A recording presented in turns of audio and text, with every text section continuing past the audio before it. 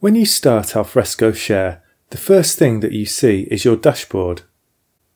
Your dashboard is made up of what we call dashlets. Each one shows different kinds of information, such as sites that you're a member of or any tasks that you've been assigned. At the top of the screen are various options. The search field lets you search for content.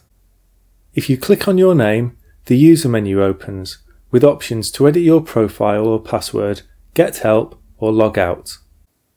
The repository displays all of the content that you have access to, including content of all the sites that you're a member of. You can store content without adding it to a site in the My Files or Shared Files areas.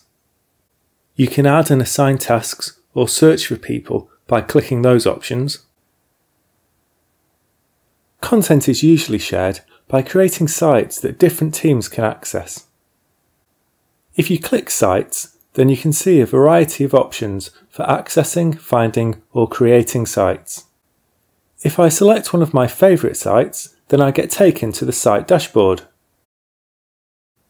This is similar to your user dashboard, but it belongs to the site and can only be changed by the site manager.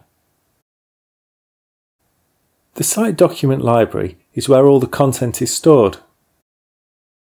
And you can click Home to go straight back to your dashboard or other location that you've set as your home page.